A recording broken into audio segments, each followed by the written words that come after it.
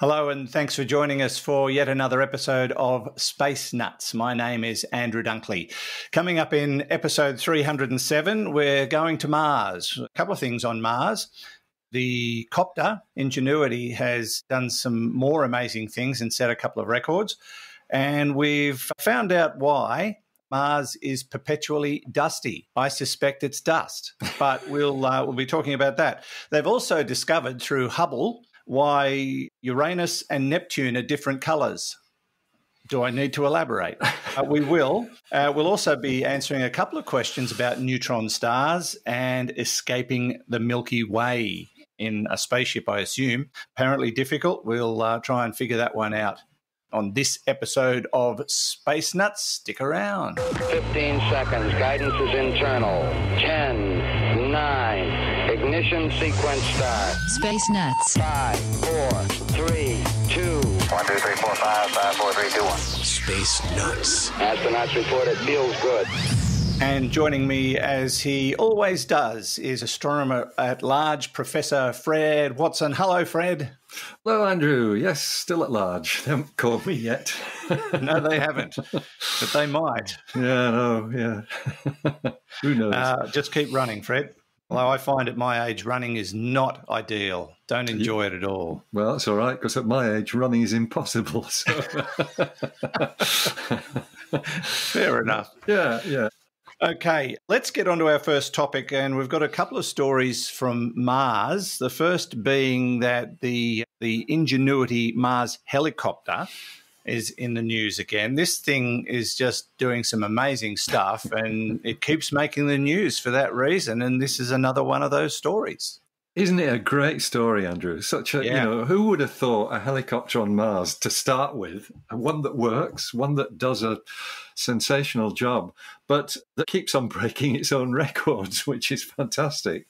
Uh, I think when we spoke about Ingenuity at first, was expected to complete five flights, of which the mm. first three were going to be testing out all the kit, and the other two were whatever they could do. The moment Ingenuity is preparing for its 29th flight, so it's wow. doing a marvelous job. And obviously, the you know the team built it, put their heart and soul into it, and did all the right things because it's been a, a work of art in terms of what it has achieved. And the reason why it's I mentioned record breaking, is that um, back in April, on the 18th of April, it actually had a record breaking flight because it was the furthest and fastest flight to date. And I've got the figures here in both sorts of units. It's 704 meters, 0.7 of a kilometer. That's a significant distance, which is 2,310 feet. And it achieved a speed of 12 miles per hour which is 5.5 meters per second. So certainly, um, well, you can probably run a bit faster than that. Maybe not, but don't think so. Uh, but it is. It's a it's a it's a fast pace, and yeah, you'd, you'd have trouble keeping up with it. I think anybody. So yeah. fabulous stuff, and still doing you know sterling work. That record breaking flight, you can actually find footage of it on the web. I'm looking, as we often do, Andrew, the phys.org website, and there is footage of the flight, which has actually been compressed. It's speeded up five times. So yeah, I'm so, just watching it now. Yeah, isn't it great? So you, have got um, you've got a sort of footage of the surface of Mars gliding by beneath you from an altitude of 10 meters or 33 mm. feet. A lovely quote from uh, Teddy St. Tzanetos, I think is his name. He's at JPL, Jet Propulsion Laboratory. Uh, for our record breaking flight, Ingenuity's downward looking navigation camera provided us with a breathtaking sense of what you would feel like gliding 33 feet above the surface of Mars at 12 miles per hour. It's exactly what you get. And it is, it's great. It's lovely. Yes, it is. And I suppose while it's still operational, they'll keep operationaling it. They'll keep uh, going because sent it up there for a reason. Okay, it's it's done everything they wanted it to do.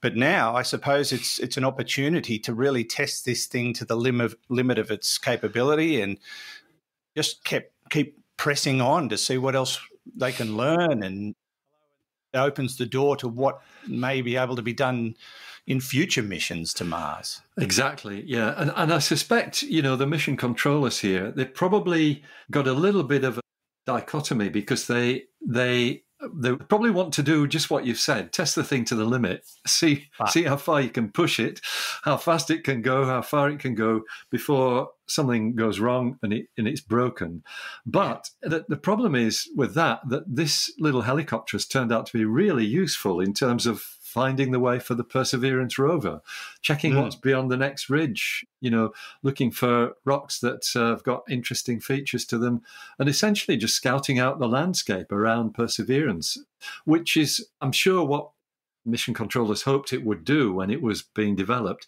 Because Yeah. remember, all it's got on board is a camera, the navigation camera. And I think there might be two, but the navigation camera is certainly the, the main one, a downward pointing one, because it uses that to, to find its way autonomously. Got its own brain inside. Nobody's controlling it because you can't do that from from the Earth with the long time interval between signals going up and coming back. So it thinks for itself. I think um, the mission controllers say, "I want you to go there," and off it goes and works out the, all the details itself. So so remarkable and such a such an achievement there. I think I'm correcting myself there. I think I said there might be two cameras. I don't think there are. I think there's only the navigation camera on board. Okay. Yeah. Yeah. Uh, I wonder how far it could go away from Perseverance before, you know, it was irretrievable. Is it tethered to Perseverance by radio or anything, or is Um, it totally autonomous? I think I think it is. You know, maybe I think most of the hardware is actually sort of computing hardware is on board the the Ingenuity, the helicopter, but it certainly would talk to Perseverance, yes, without doubt. That there were, I think they've already smashed the records that they expected to achieve. If I remember rightly, it's when it was built. I might be remembering the wrong number here, but 150 meters or 160 meters sticks in my mind as being its maximum range Mm. and yet this record-breaking flight, you know, five times that or thereabouts, Yeah. 704 meters. So it's um, it's already pushing the limits. I guess what the worst thing might happen is if its batteries failed in flight. Although I think the sensors on board would tell the autonomous system, "Look, your batteries are running out. You better get down to the ground." Because uh, if if the batteries failed in flight, that could be catastrophic you know, if it landed on a on a surface that had a, a hidden rock or something and tipped over, I think that would be the end of the story as well. Yeah. You want that solar panel, which is absolutely essential for keeping the battery topped up. That's got to be facing upwards, and if it's pointing downwards, it's end of story. I think. Yeah. Well, we've heard stories like that about other rovers. Yes. Yes, indeed. That have lost Put- the power because they just couldn't get uh, Couldn't get the exposure sun. to solar energy. So Yeah, Philae. yes, it's always a risk, but Exactly what happened with Philae on the uh, Rosetta Yeah. mission. Yeah. Yeah. But incredible so far, and can't wait to hear more about what they're up to with Ingenuity.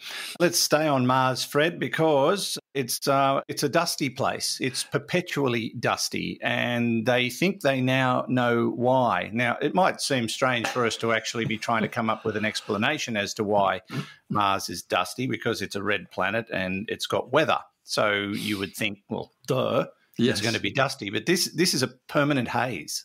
It is, that's right. And it's why the sky's slightly pink on Mars, because that's the dust atmosphere born haze. Yeah, you, you're familiar with some of the dust storms that we can get on Earth, you know, those Mm. gigantic Yeah. clouds of dust that come in Western New South Wales from time to time. And they get that on Mars as well. They get these enormous dust storms, sometimes blanket the entire planet. The last time that happened, I think, was 2018, um, Yeah. which um, is, you know, Curiosity, the the rover that was on Mars, got got a fairly solid coating of dust on that. But even when there's no there's no global dust storms, it's still a hazy planet, and so essentially, what is it keeps the dust particles aloft? That's the the, the big question, and the studies that have been done, and this is research that's coming out of multinational team of researchers from uh, the USA, Spain, France, Finland, looking, of course, at uh, data from Perseverance and other rovers on the surface of Mars. The uh, they have demonstrated that those huge dust storms that we've just been talking about are not enough, not often enough, to explain why the planet's always hazy. Uh, and so what they've done is they've they've looked at the Perseverance rover and what it can tell them, and in particular, Perseverance has a set of sensors which are known, which are called the Mars Environment Dynamics Analyzer. Mars, Mars Environment Dynamics Analyzer. I'm having trouble reading stuff today, aren't you? Otherwise known as MEDA or MEDA, M E D A. And that's got, it's a weather station basically, air pressure, temperature, wind speed. it's probably not much point trying to measure humidity because it's, it's usually about one or something like that. But anyway, it also has equipment that lets you analyze the sunlight to see how much light is scattered through dust. So that tells you how much dust there is in the atmosphere. And it's in fact, um, I think it's connected with the dynamics analyzer that the Mars microphone is installed because we've talked about that too. Anyway, the so the the results from that are really interesting, and one is, and it's probably not that much of a surprise, but the dust devils, these little whirlwinds that oh, yeah. you're familiar with in Western New South Wales. I used Very to see familiar. them. Yeah, we Yeah, get some really big ones here. Yeah, yeah, I used to see them uh, when I lived in Coonabarabran. Uh, they are apparently more frequent than was expected, and why? Reason why that doesn't surprise me that much is that I've more than probably a decade and a half now. I've been showing. If I talk about Mars, I tend to show a little video clip that came from. Uh, it was one of the early rovers, Spirit, I think. Uh, yes, the Spirit rover not Opportunity. Spirit and Opportunity were the pair of rovers back in the early 2000s. Spirit sat itself on top of a mountain range called, um, actually, it's one mountain called Husband Hill. It's in the, the Challenger range. All the peaks in that range are named after people who were lost in the Challenger disaster. Husband Hill is one of them, and they they looked at the landscape beyond, and there's all these dust devils charging across the landscape. So just one little bit of footage from one spot on Mars, and what do you get? Dust devils. Apparently, that is common to Mars. Certainly, at least in the equatorial regions where most of these landers have found themselves, including Perseverance. And the suggestion from this research is that at least one dust devil is generated in the vicinity of the rover every day. And that's sort of more common than we get here on Earth. Yeah. So the uh, dust devils on Mars, of course, are quite different from the ones on Earth. I think the biggest one I ever saw, and it was actually driving back from Coonamble in western New South Wales towards Coonabarabran, and it would have been, my guess is 500 metres high. That's pretty tall for a, Yes. an earthly dust devil. We Um, we were driving home from Queensland once in a very dry time of the year, and I think the region was in drought. And we were driving across the Moree Plains, Yes, which is yeah. well north of us, a few Yeah. hours north of us, and we saw two massive dust devils, and yeah, they they would have easily been two or three hundred meters high, just big yeah, red tornado like structures. But That's right. uh, gosh, quite quite extraordinary to watch. Yeah. so we had one. We actually had since we've lived in this place. I've had two dust devils come over the top of me while I've been in the backyard, Oh, and really? the updraft is quite incredible. And Yes, all the you know, cleaned all the, the yard, picked up all the leaves, took it away. Didn't have to. it was quite Put amazing. somewhere else. I stayed still, but It's a good thing yeah, you did. they just pick up so much stuff. They're, Uh, they're amazing. That's the beauty, of course, with these dust devils. In with the earlier rover Spirit and Opportunity, they they cleaned off the solar panels. The dust devils going by actually swept the solar panels clear clear of dust. Now, Curiosity and Perseverance have both got um, thermoelectric nuclear generators, so they do, they don't have solar panels. But really interesting. Yeah, that's Now, uh, I, I assume the dust devils on Mars. You said they're different, so I'm guessing they wouldn't be nearly as big, or are they bigger? they're eight kilometers. Whoa! yeah. Whoa! Yeah, they're they're huge. Think I'm remembering that number correctly. They they are very very tall, and it's it's partly that the dust is very fine, but also the gravity's lower. Of course, against that is the atmospheric pressure being low, so you wouldn't think the winds would whip up as much, but they do. And the other thing about them, because of the low humidity, Andrew, here's here's one that would be a surprise on Earth. You get little little flashes of lightning in the base of them. Uh, as the dust particles rub against one another, they gener- generate static electricity. So get these little flashes of, of lightning. And I've seen footage of these being captured. so different to dust devils from what we get. But they have got a role in cleaning up the, you know, the, the spacecraft there, which is very nice. However, there is another aspect though to to why Mars is dusty, and that is that, that there's a phenomenon which essentially generates uh, wind patterns, what they call daytime upslope winds. Okay. So it's it's something again. It's not not as common as the dust devils, but essentially just a phenomenon of atmospheric heating that gives you these these rising winds. They they blow up the slopes.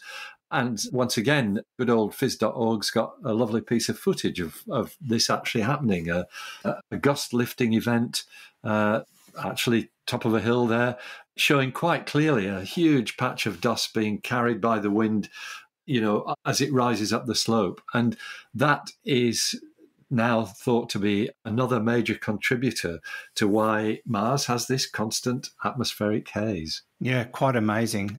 We have similar things happen on Earth, particularly in uh, desert regions. Yes. But I, yes. I, I was quite struck by coming into land in Dubai and looking yep. out the window and just this red haze in the sky all the yes. time and it's it's there all the time. Yeah. So it's the yeah. same kind of situation, probably a different effect. But yeah, I can imagine that that's that's what Mars would be like uh, in Yeah. terms of the everyday is seeing this constant redness in the sky and that's that's what it's like around the United Arab Emirates and I'm sure many other desert countries. It's it's quite incredible. But yeah, I, I noticed that going in there. I think it would be the same in parts of the US, some of those more Mhm. desert like areas around Las Vegas and, and similar. But yeah, well, we know what it is now. It's wind. And I meant to mention, and, and Dust Devils, I meant to mention there's a great scene in the movie The Martian. I know I've talked about The Martian many times and uh, it's a great movie. I love it. But there's a great scene where he's driving the rover along this plains area on Mars. And they've put a beautiful piece of music into the scene where he's driving through these dancing dust devils. It's really worth seeing. Yeah. It's only a very short scene, like five or 10 seconds, yeah. but it impacted on me greatly because it was just so beautifully done. I know it was all CGI, et cetera, et cetera, but it was okay. it was a brilliant scene. I thoroughly enjoyed it, and I'd watch that scene again just to watch the whole movie again because it's it's so well well done and just it just sort of gives you that um, that impact of isolation and desolation all at once. Uh, I don't know. Yeah, I think that uh, that's a great piece of uh, cinematography. Yeah, so now we know. This is Space Nuts. Oh, by the way, if you want to uh, read that article, phys.org is the website. You're listening to Space Nuts with Andrew Dunkley and Professor Fred Watson. Okay, we checked all four systems and keying with a go. Space Nuts. Okay, Fred, let's move on from Mars to a couple of other planets in our solar system. And they're planets we do talk about occasionally, but they don't seem to get as much attention as the um, the likes of Saturn and Jupiter. We're talking about Uranus and Neptune. Now, I didn't even think about this as an issue, but obviously somebody has been going, I wonder why they are different colours. And they've been analysing this through the Hubble Space Telescope and they think they've figured it out.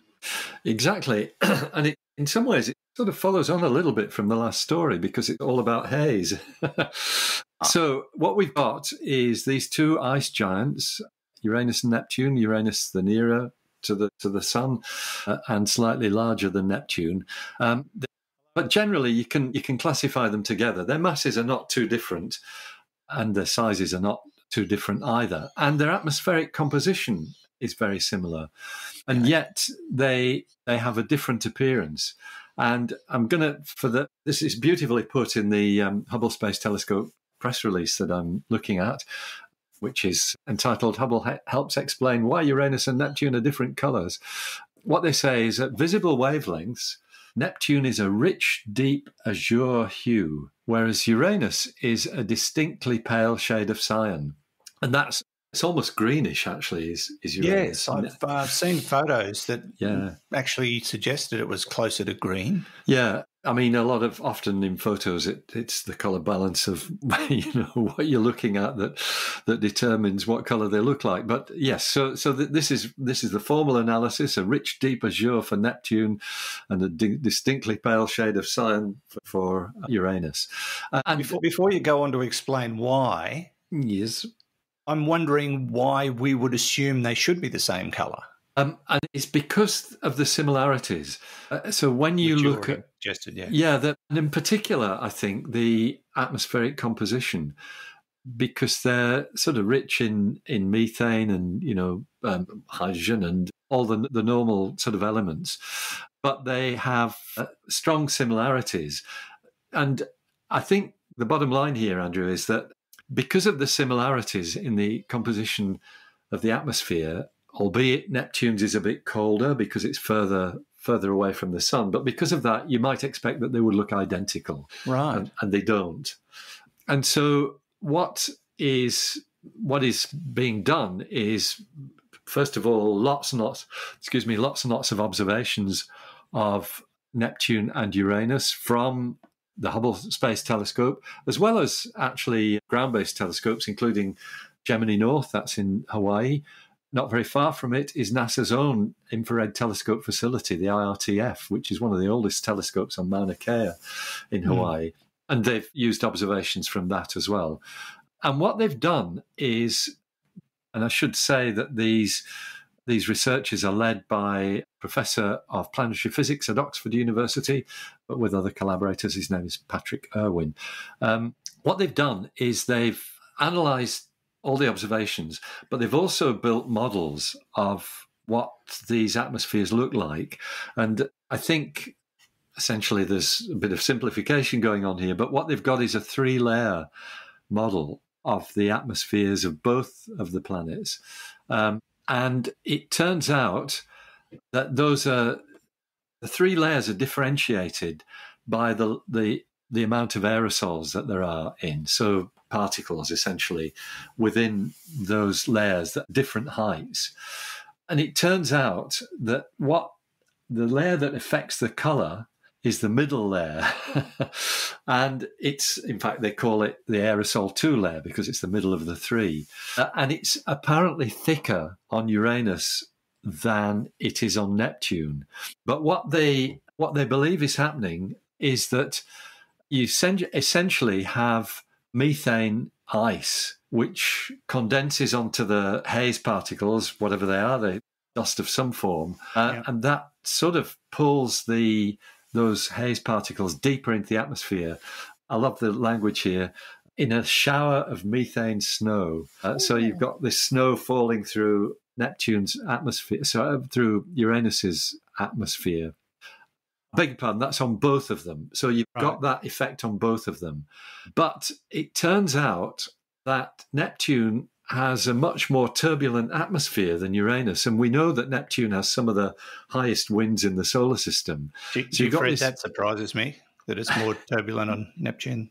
Yeah, it does a bit because you'd think Uranus being close to the sun would have more heat going into the. That's not what I was thinking. I know, I know. I'm trying to clean up your act, Andrew. Lift your game. Not doing.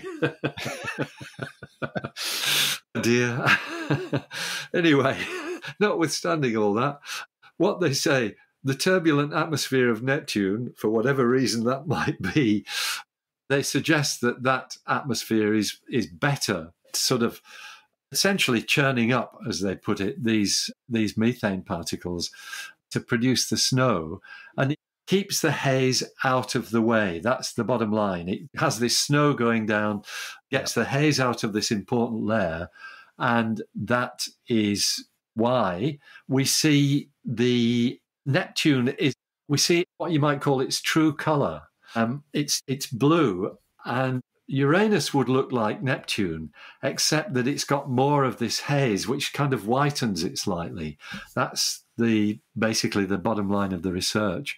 Um, one of the other uh, collaborators in this work, who's at uh, University of California, Berkeley, Mike Wong, says we hope that developing this model would help us understand clouds and hazes in the ice giant atmospheres explaining the difference in colour between Uranus and Neptune was an unexpected bonus. It's quite nice that they've done that. But they now see that this this whitening effect of the of the more of the larger amounts of haze in that middle layer of Uranus's atmosphere is why it looks paler. It's why it doesn't look as deep a blue as Neptune mm. does. Get rid of the haze and it would look just the same. Yeah, yeah. Does that suggest they had identical origins or perhaps came yeah. from the same place? Yeah, it's possible. That's right. Um, I mean, they are suspiciously close together in when they're adjacent in the solar system. They're a long way apart as planets are at that distance, but yeah. um, but they are. Um, yeah, they they may have had a common origin. You know, they formed mm. in the same bit of the protoplanetary disk that surrounded the sun. So yeah, that's amazing. Yeah, it's it's nice stuff. They also actually, uh, incidentally, they've investigated some of the other aspects because both of um, both of those gas giant planets, or the ice giants, Uranus and Neptune, they have dark spots on them, which are interpreted as being atmospheric storms.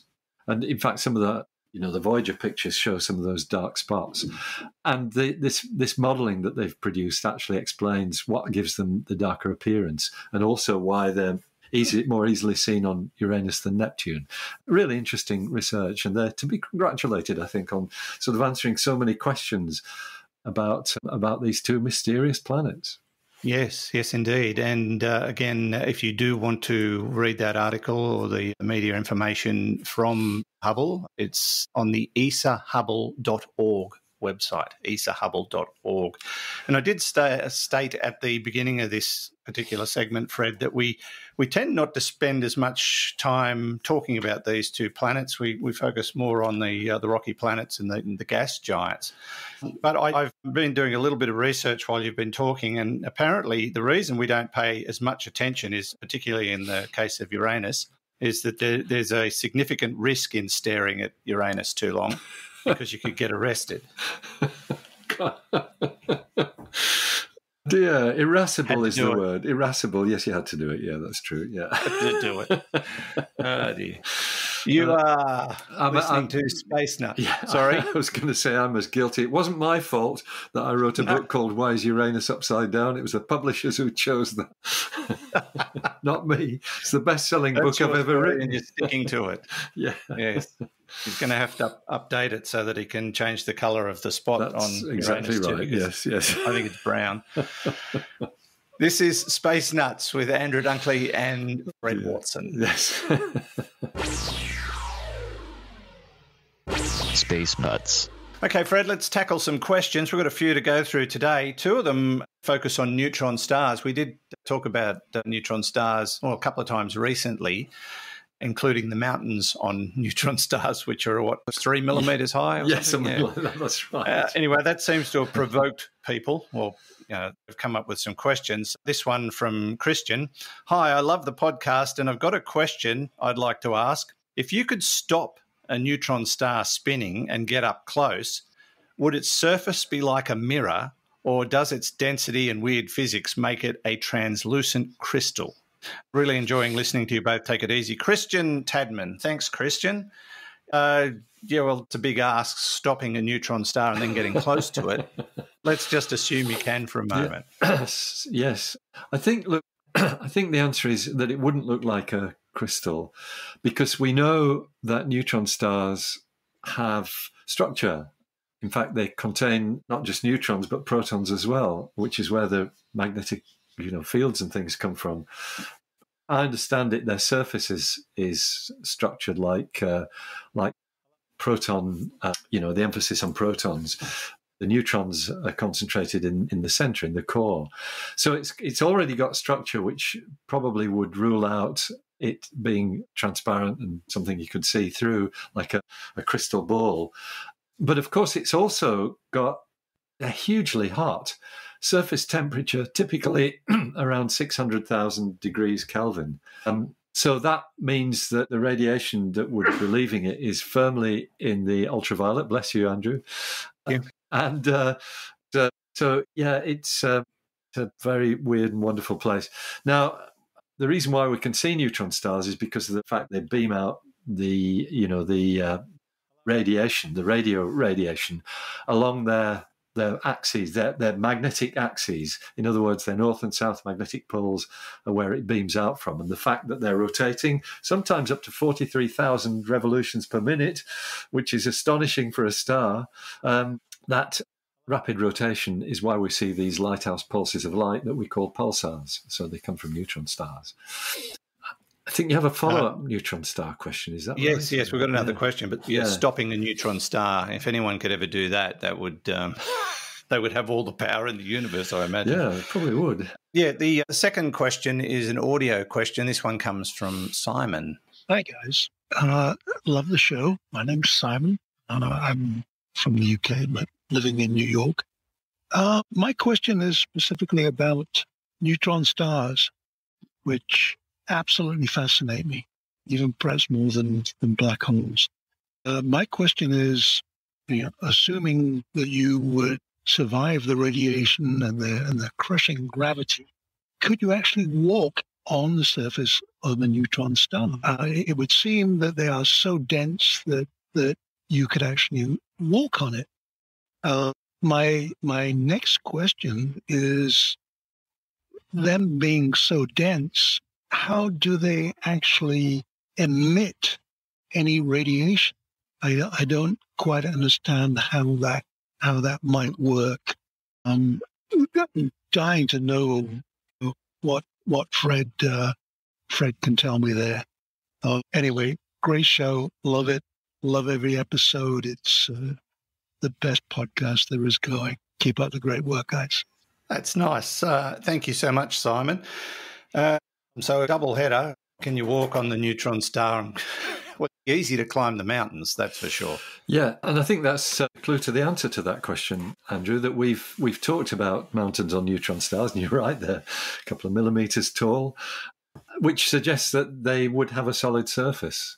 And I think that's really what Simon's asking you know, do they have a solid surface? Yes, of course, the gravitational pull would crush you to, uh, well, nothing really, and and radiation would be a problem.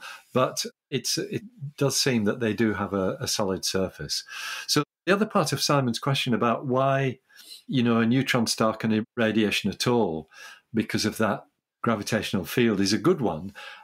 The answer is that they do, because of course we see the evidence from the the beams of radiation that are channeled out along their magnetic poles, and um, the the magnetic fields themselves contribute to that because they're huge, up to one quadrillion times stronger than the Earth's magnetic field, which apparently is 10 to the power 15.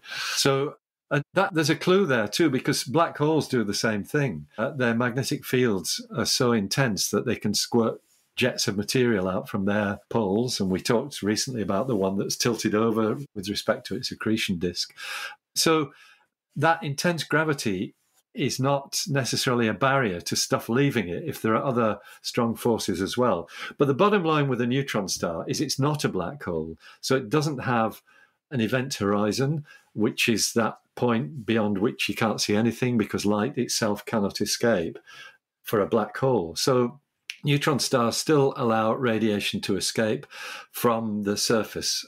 And that's why we can see them. It's why we can observe them directly. Unlike black holes, which we can only observe by virtue of the effect they're having on their, their surroundings, the you know the radio radiation that comes from the accretion disk with all the material jostling and charging up to very high energies. Very good. Thank you, Simon. And thank you, Christian, for your questions about neutron stars. And we've got a question from Duncan. This is sort of a science fiction question.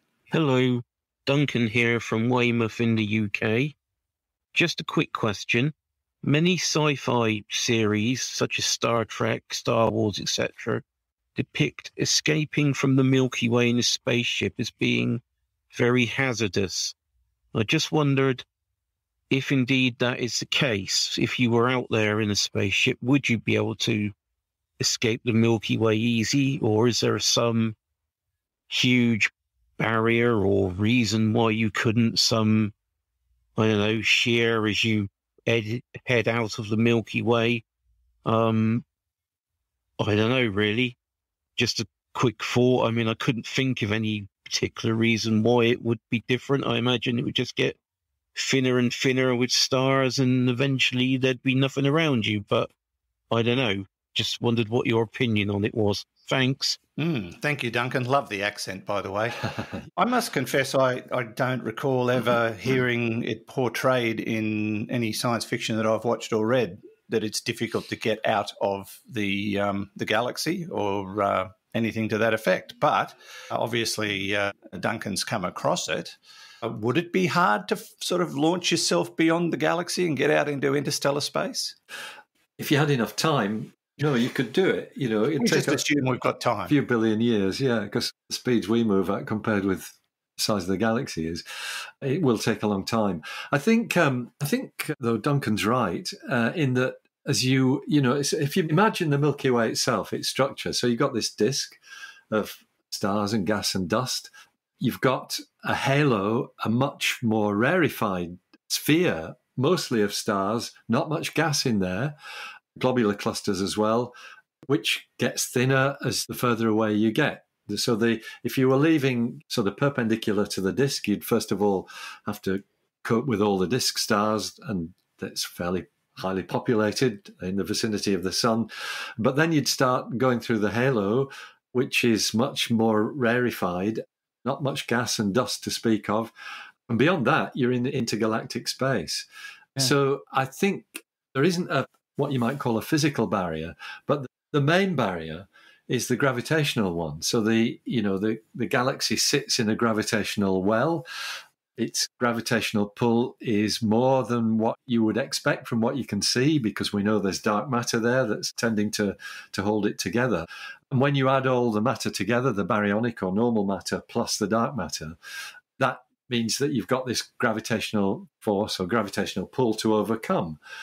And that's it's not ridiculously high. It means that what it means is that the our galaxy has an escape velocity, just like a planet does or a star. Yeah. On the surface of the Earth, to get off the Earth altogether, you have to be traveling at more than 11 kilometers per second. That's the escape velocity from the Earth. And we know that the galaxy has an escape velocity. And in fact, some of the work I did a decade or so ago, along with many collaborators, actually allowed us to measure the escape velocity of the galaxy. The International Rave Survey that I was project manager for. RAVE being the radial velocity experiment, we measured the velocities and other characteristics of half a million stars in our galaxy, fairly locally in the galaxy. But by looking at their motion, you can actually calculate what the escape velocity would be at our in our neck of the woods, our part of the galaxy. And I am trying to remember because it a decade or so ago that we did this, but I think it's around about 240 kilometers per second. So considerably more than the Earth, of course, uh, to leave the galaxy. So you need a lot more thrust than you do to get it off the Earth. But it's not inconceivable that you could achieve a velocity of that sort of magnitude, a couple of hundred kilometers per second. Yeah. So, yeah, yeah that would be, I think, the main barrier to leaving our Milky Way galaxy. Velocity. Velocity. That's right. Velocity and gravity. Yeah. Okay. Duncan, a... thank you. Really good question. Love love those kinds of uh, what if questions. And you prepared for a, a, question without notice, Fred? I am. I am. Yeah, we got one uh, through our um, YouTube feed a little while ago, and um, basically comes from Ollie. He said, I guess I was wondering as I take astro photos, and of course I can adjust the color as I please, I wonder how people like Fred, who analyze these photos from a scientific standpoint, if they're specific color calibration rules they need to adhere to, etc., or if it's not an issue. He said, "Sorry, not well explained." But look, I understood it. So, yeah, no, Fred, what, what, do you reckon? It's a great question. And actually, yeah. Uh, look, the person who is the absolute master, the maestro on this is David Malin, my yep. colleague and good friend. We had dinner together a couple of nights ago. David pioneered the technique of putting true color into celestial images back in the 70s and 80s.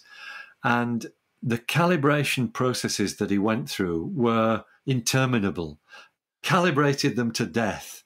Uh, and it's all about, you know, not just getting white balance, it's, it's just about the, the gamma curves and all, all these fancy terms that you use in, in imagery to get them all matched so that what you're seeing is would, is an absolutely true representation of what you would see if your eyes were millions of times more sensitive. And it's that because other astronomers knew that these images had been so well calibrated, that led them to be able to make scientific discoveries from them just because they, they knew that the colors represented real, you know, the real effect. So it's a great question. And if David was sitting here now, he'd be talking for the next half hour about how he did it. uh, so the answer to your question, Ollie, is yes, but we don't know what those well, specifics are in terms of color calibration, but I suppose it's circumstantial. What you're photographing. It, to some extent, depends on your technique. Look, it's pretty easy yeah. to, to find.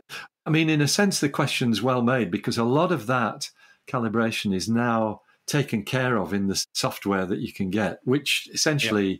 you know, it's artificial David Malin is some of the software you're, you're talking about because it does those calibrations for you. Hmm. All right. Thanks, Ollie, and thanks for listening live. Good to hear from you.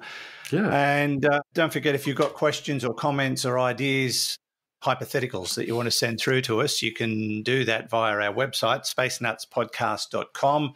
Click on the AMA link to uh, send us a, a, text question or an audio question, or you can click on the tab on the right hand side of the homepage to send us an audio question as well. And while you're there, check out how to become a patron if you want to uh, support us financially, because there are lots of people that do that these days, and we really appreciate it. And there are various ways Patreon, Supercast, or you can just click on the buy us a cup of coffee button and make a one off small donation, or you can leave a review on your favorite podcast distributor. The more reviews, the more people that uh, get um, the attention of us, or we get the attention of them, and uh, the the bigger our Space Nuts community grows. So uh, yeah, you can leave reviews through whatever platform you you listen on. Fred, that uh, wraps it up for another episode. Thank you so much. They come around so quickly. they do. It's a great pleasure, Andrew. Always great to talk, and looking forward to the next time. We'll see you next week. Professor Fred Watson, astronomer at large. And from me, Andrew Dunkley, thanks for listening. We'll catch you on the very next episode of Space Nuts. Bye bye. Space Nuts. You've been listening to the Space Nuts podcast. Mission complete, Houston. Available at Apple Podcasts, Google Podcasts, Spotify, iHeartRadio, or your favorite podcast player. You can also stream on demand at Bitesz.com. This has been another quality podcast production from Bitesz.com.